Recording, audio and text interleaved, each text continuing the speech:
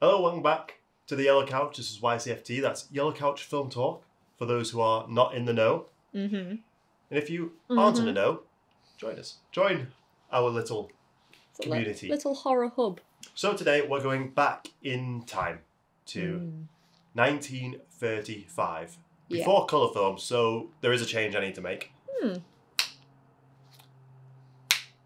I need to learn how to click. There we go.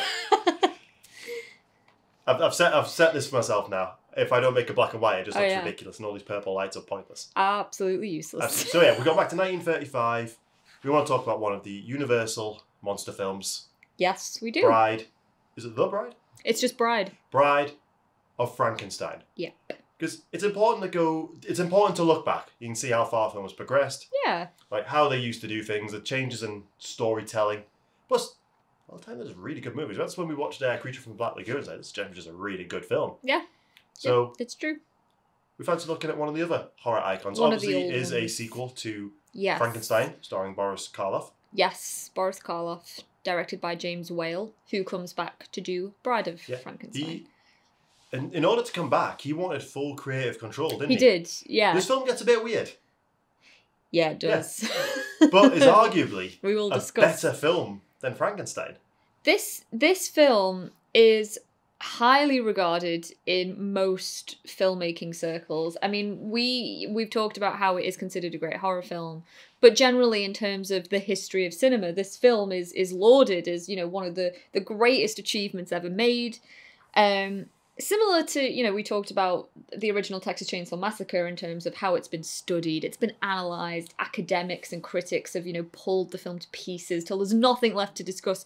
Similar with Bride of Frankenstein. Yeah, This film is talked about a lot. yeah, And I think I'm right in saying at the time we record this, it has 98% on Rotten tomatoes which is insane considering how Yeah, and it's a sequel. it is a sequel. Yeah, and what I always find interesting, like, we're, it's no secret that we're not massive fans of the book by Mary Shelley. We have issues with. Where I have a lot of issues with it, and I think the film, the original film, fra- uh, corrects a lot of those issues. hmm for me. Interestingly, this the sequel adds in a lot of aspects that are taken away in the first film from the book, like Yeah. the monster being able to speak. Obviously, the bride, the bride is in the book. She's a subplot of the, Yeah, she's a of, the, subplot no- of of the the original novel. book that was added back in. Yeah, this. And I think between the two films, they do the book a lot more justice than it kind of does itself. I- and English literature students are about to destroy me for that. well, but just it, the book wasn't what I wanted it. I, I cannot selfish say it's not what I wanted it to be. I just I didn't get that much enjoyment out of reading it. no, that's fine. I mean, you, was- you know, people. something I was very excited to read. I I agree with that. I mean, I I love gothic fiction. I did gothic fiction for my dissertation because I did English lit and film at uni. And yeah, I, I did Frankenstein. I did a few other gothic novels as well. And like Frankenstein is considered one of the first gothic novels. In a lot of ways you can argue it is, in a lot of ways you can argue it isn't. I had the same issues that you did. I found the the book to be quite kind of meandering. There's not a lot of action in it for the first half. It's very sort of heavily philosophical. Like not a lot of horror stuff actually happens. Yeah. The films, I mean, especially the Universal films, kind of correct that. Because even in the very first film, the 1931 Frankenstein movie, the very first scene is when Frankenstein and Igor or Igor, I can never remember which one, Yeah, they're digging they're digging up the body. He's not actually called Igor in the first one, I don't think. No, No, I that's know not young established until like the third one. I know young Frankenstein, like they make a big joke out of this, but I can never remember in my head what his assistant is called. But the very first scene in that film is when they ju- they just jump right to the bit where they're Yeah. stealing the body. It's like you get rid of a lot of like you know the heavy exposition and all of that. It just cuts straight to like the main focus of the film. Yeah. And same with Bride Frankenstein. So I, I appreciate that Yeah. the films can do what the book couldn't Yeah. Necessarily. like things like the light being brought to life by a bolt of lightning. That it's alive, it's alive. It's, like It's this is stuff that's not alive. in. it's the book. So the film picks up immediately where the first one left left off. Yeah, Yeah. leaves off. uh, where Frankenstein and the monster, because you know the monster is not called Frankenstein. No, this is a big issue across cinema. Like Yeah. this is a it causes a lot of confusion. They both survive. Yes. And the monster, is he's basically chased through the woods. Yeah, he survives being burnt at the mill at the very beginning of this film. A lot of the townsfolk want to believe he's dead, but no, he actually survives the burning. He actually looks like he's damaged, he's wounded. One thing I really like about the makeup effects on Frankenstein throughout this. Like they look great anyway. Boris Karloff is great. You didn't want the monster to speak, did he? No, he had issues with that. Even though it is in the book, but It is so he doesn't book. say that much. He doesn't say a lot, but it's impactful what he does say. It is But impactful, as yeah. the film goes on, his wounds kind of change as if they're healing, yeah. and uh, it's just a touch. Like back then, especially the way they were watching it, you, you probably wouldn't have been able to notice it. We're watching it like high def. yeah, exactly. Yeah, yeah, yeah. Yeah, So the basic should we talk a bit about like the what the basic plot of this Yeah. movie is just to for starters. So um obviously the the Bride of Frankenstein this film focuses on the little subplot of the of the novel where the the, the creature the monster wants a mate. He wants he wants a partner wants- to save himself from being lonely. he wants a companion because everyone in the world hates him. But unlike the novel, this film introduces a totally new character into the mix, Dr. Pretorius. And he's a very Odd character. interesting Yeah. character to say the least. So I think in the in the film Pretorius was once upon a time Dr. Frankenstein's tutor. Um and somewhere between the first film and this film Pretorius has heard of Frankenstein's achievement in creating a man but you know making creating a man back from the dead and now Pretorius is like well let's go one step further you know you brought a man back to life now let's make him a woman let's make him a partner yeah, because that's what Pretorius is all about, like, one of my favorite scenes, like because Pretorius has created life, but he's created small people. He's but he's grown them from scratch. Homunculi. But he can't. He can't do this. Do it on a scale. He needs Victor Frankenstein. He needs Frankenstein to help him. Yeah. And this, what like this is a VFX shot that I find absolutely outstanding. When he pulls oh, the like they're in little jars, and it's things like oh maybe it's forced perspective, but they're in they're in glass jars. They're interacting with the glass, and you see his hand refracting as it goes behind, and then it's like, oh this one's now underwater. This one's climbing out. It's like, for the It's- time, this looks absolutely insane. And when we looked at how they did, so they he has. You can kind of see it when he pulls them out because initially you can see that it's an empty jar. He has mm, jars on set for him to interact with, and that's how you get that refraction with his hand Mhm. behind, like behind it. My hand movements are helping me stay away. Then they had giant jars with the actors in, bell jars. Yeah. giant bell jars. They had to match the camera angle perfectly, film it on against like uh, black felt, and expose it, so then we place them over the top. It was like this very, very early form of visual effects that would still look outstanding. That would have been so much work. I think yeah, you were kind of a little bit floored when you. When I saw it, I was like, that is insane. Yeah, it, it does look incredible. I mean, you know, this film is 1935. It's over 90 years old. that shot It- holds up really well. yeah. Ve- It is really cool, and Yeah. I think one of the characters in the jars is Henry VIII, who's trying to get into another jar where where a woman is. He's like desperately trying to get in, and there's a ballerina, I think, as There's well. a ballerina, there's a mermaid, Yeah. so you got some cross species going on there. There's a, it's a vicar or something like that. yeah, it's like it's such an odd little sequence, and it ha- but it has a little bit of humor in it, and I think that is sort of you know th- this film especially very campy, and there is a an odd sort of sense of humor Yeah. to it, and I think that does go back to James Whale, the director, wanting and demanding that creative control. Like Yeah. he got to have a lot of fun with this At the same film. time, though, there's some really interesting camera angles. The Yeah, lighting there it, is. It looks like a ha- like a better quality than a lot of the other Universal films coming out at the time. Yeah, definitely. Boris Karloff gets. Mu- I know he may he may not have wanted the monster to speak, but he gets a lot more time to, sh- you know, stretch. Yeah, his to acting do his- do his thing, do his thing. And in the obviously in the novel, uh, Frankenstein learns to speak by watching a family. mm. Over So time. none of that is in the in the first film. And we have the blind man sequence where obviously he's been chased through, chased through the woods. He's been arrested, and He's just tired. Like Yeah. he just wants to. a lot of scenes that and... represent those can be mirrored like Christ on the Christ on the cross Well- when he's uh, tied up. Yeah, I mean, religion comes into play a lot when you talk about Frankenstein. Yeah. It's talked about in the novel a lot. And then, you know, even in the first film, you know, the famous lightning sequence where it's alive, it's alive, you know, now I know what it's like to be God. I, you know, I've created a man, you know, now I know what that power is Yeah. like. And then it's kind of maximized in this as, as well. We get a lot of imagery of the creature being Yeah. strung up, almost like a weird crucifixion. Yeah, but he he escapes prison, runs off again. He hides with a blind man for a bit because everyone assumes they see him, they're scared of him, they're horrified of him. yeah, Blind man has no reason to be afraid of him. can't see him. he can't see him. He has no So idea he's talking like, to a dead man. an amount of time together. And those scenes are always they're sweet. This is the first kindness he's ever been Mm. shown. hmm But it's also, you know, we see the creature drinking wine. Smoking. Yeah, he, apparently the creature likes cigars. Thing is, he's a man. He had the brain he has belonged to somebody. yeah, just a bit of a dodgy brain. Yeah, he's he is just a man. He is a man. mistreated. Yeah. And, you know, Totally. it's sad that he had a friend. He did have a friend, And it does end in tragedy. that was taken away. Like everything else, Like it was just robbed away from him. And So when he comes across Pretorius, yes, which is one of my favorite scenes actually yeah, in the Pretorius, film. he's doing his grave robbing, but deciding to. There's Well- a reason we have the. He's He has a little. sharing. A, he's sharing a bottle of wine with a pile of skulls. He has like a little candlelit dinner in this tomb in this Yeah. crypt. He's just having a whale of a time down And there by himself. In walks the creature. joins him. Well, And the monster. Fr- the, I I've just done it there. I the monster joins the him. creature joins it, and yeah, the creature slash monster. And Pretorius is just so nonplussed by this. He's like, "Oh, come on, know, come and have a drink. Yeah. Go, come and chill. I'm, I'm about to so choose your missus for watch. you." Like him and Boris Karloff in the same scene. It's just, it's great. So Yeah, because Frank, Victor Frankenstein, he doesn't want to make another creation because he basically gets away with what he's done scot free, Mm. Mm. and he's Pretorius uses the monster to force him to yes, make him a mate because the monster's like said, the monster is lonely. he is lonely. He wants His only He friend wants a friend. He Is wants a now gone. Yeah, that's totally true. And I, I find the arc of, of Frankenstein interesting across the two films because, like, the first one, you know, he is very much the mad scientist, like, you know, mad with power.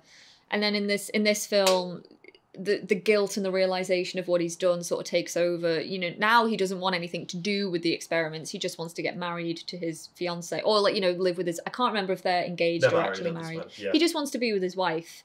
But it's it's Pretorius who is very much the catalyst for this. He's like Yeah. almost like, you know, the Mephistopheles figure, like, you know, trying to seduce him back into the science Yeah. and the experiments of it. Because Frankenstein, he is also curious as well. He is curious. What I Um, also found interesting because the book, oh, I, we have to relate to the book. The book is essentially a book about bad parenting. Hmm? Uh, Yeah. Frank, the monster, Bad family. still sees Victor as his dad, as Mhm. his father. As his creator. he refers to him as father. yeah, he does. Yeah. He doesn't, and he doesn't hate him. No, he doesn't There's hate a, him. There's a, like, without saying it, I think he still has a love and affection for the man It's who a- created him. Very troubled uh, father son relationship, to Yeah. say the least. Yeah. Um, I really the, the guy that plays Pretorius, who is essentially kind of the main character in this Yeah. film. The, the- Frankenstein himself sort of takes a bit of a back a back step in this. Yeah, I think that was a lot to do with the um, the actor that played Frankenstein, um, Colin Clive. He was a great actor. Unfortunately, he had a lot of uh, alcohol problems. alcohol problems, which f- literally forced him that you know that they couldn't use him a lot in scenes. And I think if you watch the film, you'll notice he's sitting down a lot. And I think that is because he literally like he had to sit down. He couldn't Yeah, really. it caused a lot of an issue. He nearly lost his leg at one point. yeah, It's sad. It like, was there's a really lot of sad stories related to the people that work on these films. But so Pr- Pretorius is, is the main character essentially, and he's played by a guy called Ernest Th- Thesiger. Th- Thesiger. Great actor, you know, very very theatrical. You know when you watch old movies and there's It's like clearly watching a play. it is like watching a play. There's a very you know like over the top melodramatic style that they have. They talk very differently. It's very exagger, you know, very exaggerated. It is very melodramatic, like a play, because I guess all these actors they would have come from a theatrical background. Yeah. Um, but he camps it right up, and he is he is great. Yeah. He is really good. So, the, well, the character that the film is named after, basically isn't in the film. Not that much. Not that much. No. He And- appears every now and then, but he's not a main character in this film. no, I mean the bride. oh, the bride. Bride, yeah, the bride is basically in it for like the end. That- That's it. surprised me. I because I'd never seen this film before. Watching it, Yeah. you know, when we watched it together, and I yeah, she is Consider in how it. iconic she is because she's never appeared since. No, and as the bride, she doesn't have any dialogue. No. She like what's her name? Something Lancaster, Elsa Lanchester. Lanchester, because she also she plays a dual role. She does. In the opening scene, she plays Mary Shelley Yes. because the, the way of explaining is, oh, the story mustn't have ended there. So she's like, oh no, it doesn't end there, and goes on to tell this story. Yeah, it kind of That's put. their way of following it on. Yeah, which I I actually I quite, I quite like. So she also plays the bride. Yeah, she has She a had to wear dual role. stilts. she had to wear stilts and there was a, a scene before she's you know revealed where she's completely bandaged up, and the actress literally had to be, you know, totally. Yeah. I can't even imagine how claustrophobic that that would have been, but I mean, seems like she was a trooper Oh yeah. to do it. But yeah, it's so iconic. The look of her, you know, with the lightning bolts in the hair, and you know, like the really kind Yeah. of like So the difference is rather than made up of dead bodies, apart from apart from the brain, maybe unless they've grown because she's been grown Yeah. rather than it's it's strange because they they clearly messed up with the creature um badly like he is not you know he's so different body parts he's stitched his flat head than everything and then you have the bride who is yeah she's dead but she is beautiful yeah. yeah like facially she is absolutely. Well, is she actually dead then? Because she's not made of body parts. She's a new, she's kind of a new corpse isn't she yeah well, not a new corpse. Like she's a new being that just needed life put into it. put into it yeah i don't know Yeah, it's yeah it's interesting though like she she's she's gorgeous she is. and She's he's stunning. just meanwhile he's just sitting there And like what where's her- my she bride based her performance off swans, didn't she? She, has she did yeah it's very like Bit erratic movements like lots of head jerks and she hisses um and yeah the, the actress elsa lanchester in preparation for the role she was she was a british actress and she was walking in regent's park and she saw a bunch of swans just you know, fucking like going for it like fighting each other and she she based her performance off that you know kind of saying that swans although very regal very elegant very vicious. beautiful vicious little bastards yeah yeah Yeah, she has no lie, just hisses and a scream. Yeah. So Because- she she's yeah. Stan, uh, as to be expected in this, she rejects the monster as well. Yeah, she does not want to be married to No. this creature. And um and then yeah, the creature and because he's, you know, fairly vocal at this point and doesn't he say something like, you know, we all belong dead. Yeah, He like he totally kind of gives up at that point. we all belong dead. We all belong dead. There's no hope for him. So, yeah, the film we're giving spoilers, right? The Yeah, very it- end. The film's nearly hundred years old. so the film ends where um, a fire breaks out. Does the creature start the, the fire? creature starts the fire. and he traps himself, the bride, and Pretorius in the Yeah. laboratory. He Lab- saves- laboratory. Frankenstein and his wife. He lets Frankenstein go. And It's when he calls him father. Yeah, he says, "No, not you. You can, Yeah, you can go. You deserve to live, but we belong dead." Which is very kind of You stay. We belong dead. Ah. arguably, I'd say Doctor Frankenstein deserved to die.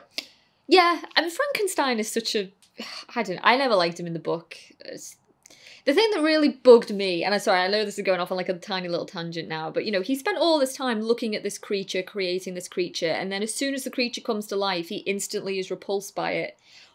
How? it's like, sure, you've been looking at this thing for months, and you now you're only just disgusted by what it looks like. It just didn't make any sense to me. that. Yeah, yeah. Anyway, yeah. Um, there's there is a lot of it's it's emotional the ending, but like we were saying, there is a lot of wry humor in in this film, like the creature drinking wine and smoking cigars, the candlelit dinner. We also have a character called Minnie, who is Frankenstein's housekeeper, God, I hate Minnie. and you hated her. but She's she's so annoying. it's such a bizarre little performance. She's And in the first one, isn't she? Uh, yeah again you know how much of it can you put to well you know the acting style back then was very Yeah. specific it was very different to how much of it is just outright fucking annoying Yeah. but yeah it's um i, I think i just put it down to the time it was made you Yeah. wouldn't get a performance like that today i don't think Well, I any of hope the not. actors would act like this today Uh, I'd like to think Boris Karloff would still play the character the same today. yeah to a new world of gods and monsters That's a great line. yes that's something pretorius toasts I might, to yeah, I might even call the video that. gods and monsters To a new world of gods and, mon- gods and monsters. Yeah. Um a lot has been said in this film about queerness. Because the director was, he was, he was uh, James Whale was was gay. He was he was Yeah. openly he was gay. openly gay, which for the Um, time as well. Very unusual. Yeah. But he was also, you know, he was he was accepted. He was getting lots of work done. It Yeah. did not affect his work at all. But lots of people, well, I say lots of people. I, I guess some critics and academics have looked into this film and they've said, you know, there's a lot of there's there's a lot of subtext there. Um, and the film in a way kind of becomes almost like a gay parable and people point to certain scenes like the blind man you know the hermit and the creature living together in kind of this blissful domesticity only for it to be taken away from them because society can't allow Yeah. two men to live together. Arguably, you know, I'd just say they're friends. There's nothing sexual there at, at all. Um, and then people also point to Pretorius and Frankenstein as, you know, almost same sex parents creating a new baby in a way and arguing over how it should be I mean, raised. Do, do you want to do the quote from uh, the director's partner? Yeah, uh, James Whale, one of his partners, uh, companions, David Lewis, he said, Jimmy, James Whale, Jimmy was first and foremost an artist, and his films represent the work of an artist, not a gay artist, but an artist. So I think David Lewis's point was, you know, yeah, he was gay, but, you know, it doesn't necessarily mean that all those things that you're looking for are there. That He was I just a good guarantee There will filmmaker. be some stuff in there because Oh, most yeah. people create from They're, su- What they're uh, subconscious, yeah, yeah, yeah. So they, the it's interesting. So like Pretorius and Frankenstein being the same sex and creating yeah. a bride, creating a daughter. Yeah, I, I could kind of see that. Like, there probably is some stuff in there, but some of it seems to be a bit stretching. I think fi- film is ultimately very subjective. It's like if you want to look for something, you'll inevitably find it. It doesn't necessarily mean it was you're intended to find it, but if you you know if you want to see it, yeah, you can interpret it in lots of different ways. There's a lot of for and against here. Yeah, it can be interpreted. Anyone can interpret it any way they like. Yeah, of course they can. It doesn't take away from. It's just a really good film. It's a bizarre film with a lot of It really. is. I mean, It not a lot of this film should be good. Like some of it's really bizarre, but at the same time, it's like it just adds to yeah, this package of weirdness. but it is a package of weirdness. Yeah. And like And we, I think we noticed this when we watched Creature from the Black Lagoon as well. Back then, films just ended. yeah, The big event would happen. There's no Yeah. wind down afterwards. It's doesn't like dwell on anything. It's just Done. done. End. So it's like- finished. the bride herself is so iconic. From you know like a few minutes of screen time Yeah, with no, no, dialogue. dialogue. I, I assumed she'd be a big part throughout the entire film. Yeah, But same. no, it's like the creation of her It's yeah, it's is the the climax of the film. exactly, exactly, which is you know very very interesting. That's- But that shows like how well the build, like for me, the build up in the story leading up to creation to create such an iconic character, and then just end. yeah, and Still exactly, be remembered exactly. It's, this many years later. I think the film. I mean, I would like to look at the sequels as well. That like because this is a sequel, but there were more Frankenstein movies that came I after believe this as Boris well. Karloff only played the monster one more time. Son of Frankenstein, Yeah, right? I think didn't he play him when he, Abbott and Costello meet Frankenstein, which is a comedy a few years later? maybe. I know at one point, Think he in, might uh, many many years later, he actually played Victor Frankenstein. Did he? Yeah, Okay. and yeah, I yeah. I, I, mean, think I- he said after the after the third one, he didn't think he could take the character any that's further. fair. Yeah, that, I Yeah. think that's totally fair. I the mean- second one was also a push for him because he didn't think he could take the character any further. But this, I said, I personally, I will, I believe that this is a better film.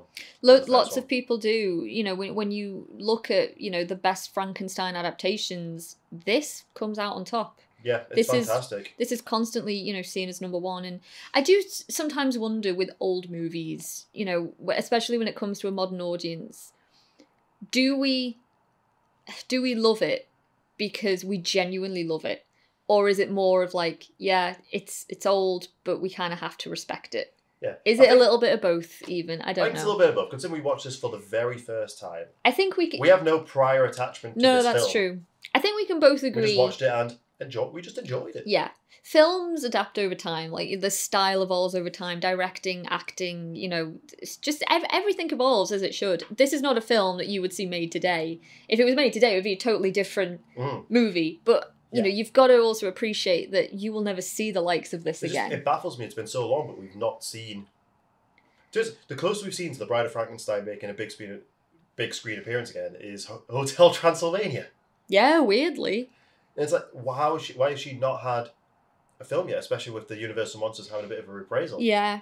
I mean, I, you know, going back to what we were saying before, that we're not the biggest fans of Frankenstein as a story.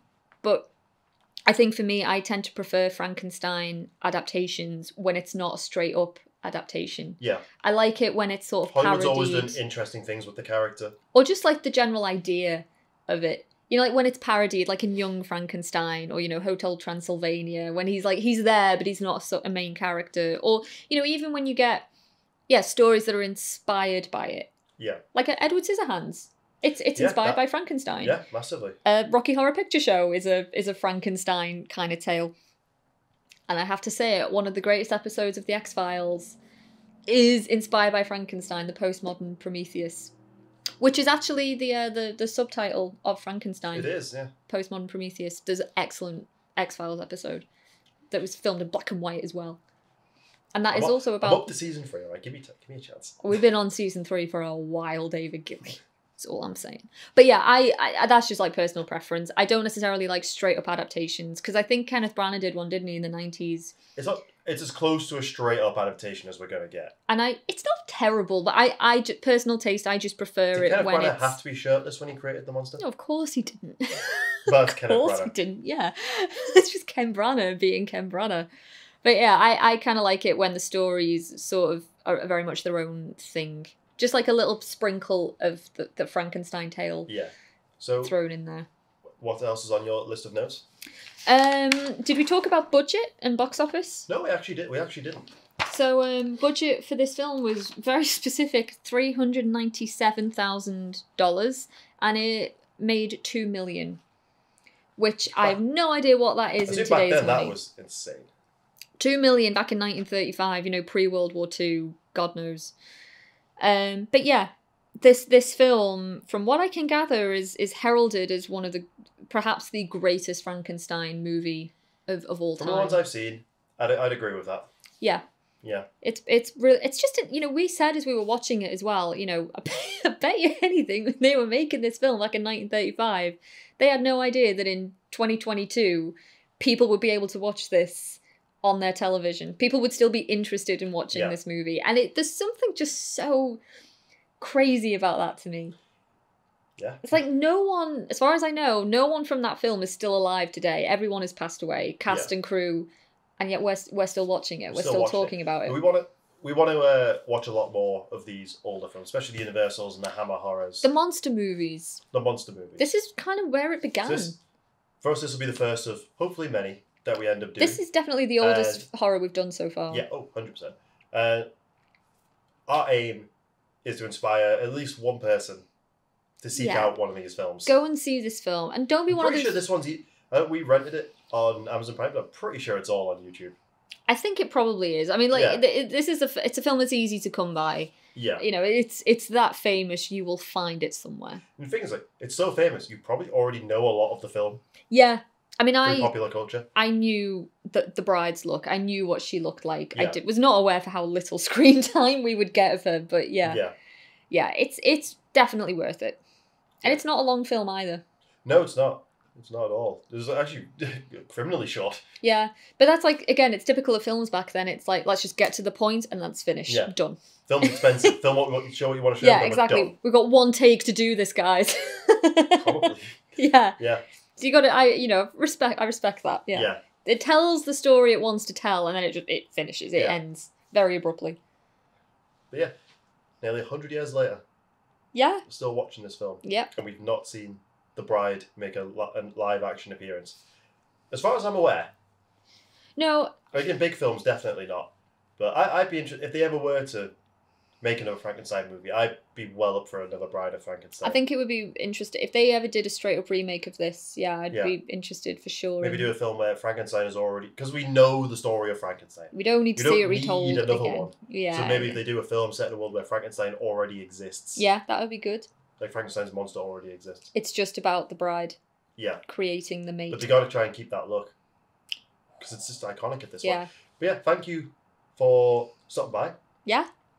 And For coming back in time watching with us us. in black and white. yeah. I'm definitely having to do the black and white now. I've mentioned it twice. You yeah. Yeah. Yeah. And yeah, please check out this film and below in the comments let us know what Universal or Hammer horror films you want us to watch. Like 100% I want to do Creature from the Black Lagoon. Mm-hmm. Yeah. I wouldn't sure. mind doing the Curse of Frankenstein with Christopher Lee. Oh, and Peter Cushing. Yeah. Yeah. That was that was fun. I enjoyed that one. I I love Cushing's take on the Frankenstein character. Yeah. I really do. Yeah. And I really want to I've not seen the original Wolfman. No. I want to do I want to do a a verses with the uh Oh, 2000 the 2010? 2010 one. Yeah, the 2010 one? Benicio del Toro. Yeah. Okay. All right. Two very very different films. We we'll. Do, I mean, I desperately want to start Hammer. Yeah, With that that's coming. We're just kind of like testing the waters. we're testing the waters a little bit, and yeah, putting them like we're, we're reserving certain films for a specific point in time as well. Yeah. So we'll get there. We'll get there. So yeah, uh, like I said before, thank you for stopping by, and we will see you next week.